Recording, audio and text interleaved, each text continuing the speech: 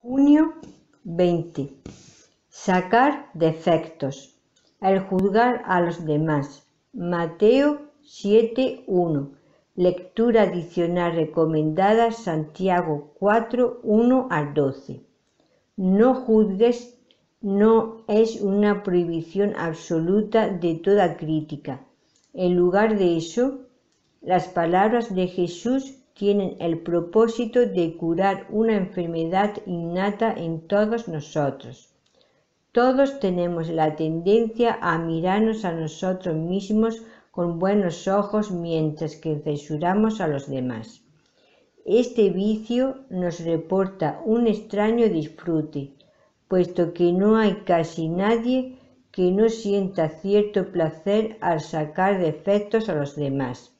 Sin embargo, también reconocemos que es un mal intolerable pasar por alto los vicios propios mientras que criticamos los ajenos.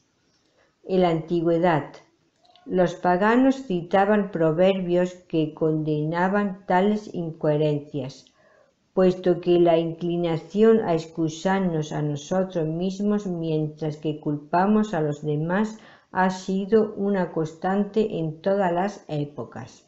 Y, lo que es más, juzgar suele incluir otro pecado aún peor, puesto que la mayoría de los que condenan al resto creen que tienen mayores prerrogativas para pecar. Cuando dice no juzguéis, Jesús nos advierte del deseo depravado de murmurar, censurar y calumniar a otros. No está diciendo que los creyentes deban estar ciegos a los defectos de los demás, sin percibir nada, sino que tan solo deben abstenerse de un deseo indebido de juzgar. Si se dejan llevar, todos los que quieran emitir un juicio sobre los demás sobrepasarán los límites fijados por Cristo el afán de juzgar también puede estar influido por una curiosidad desmedida con respecto a los actos de los demás. Este mal incluye la injusticia de magnificar cualquier error secundario de los demás, como si fuera un crimen atroz. Además, comporta la insolente presunción de mirar con desdén cada acto de los demás juzgándolo negativamente aún en el caso de que pudiera mirarse de forma favorable. Meditación. Este versículo suele citarse como una excusa para pecar, contraviniendo el propósito original de Cristo. Los amigos de citarlo olvidan que también nosotros seremos juzgados por Cristo mismo te humilla la idea del día del juicio y atenúa tus deseos de juzgar irreflexivamente a otros? La próxima vez que critiques a alguien, párate a pensar si podrías expresar tu desaprobación a esa persona de forma directa y bondadosa.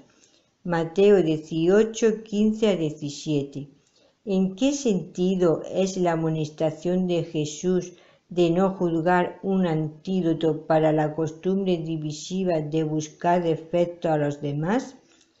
¿Qué pasos puedes dar para expulsar de tus pensamientos y tus palabras la crítica de los demás? Junio 20. Si perteneces a Dios, decirte a ti mismo que no puedes hacer lo que fuiste llamado a hacer es predicarte una herejía en privado. Tú has sido capacitado por la gracia. Nunca dejamos de hablarnos a nosotros mismos. Nunca dejamos de predicarnos algún tiempo de evangelio a nosotros mismos.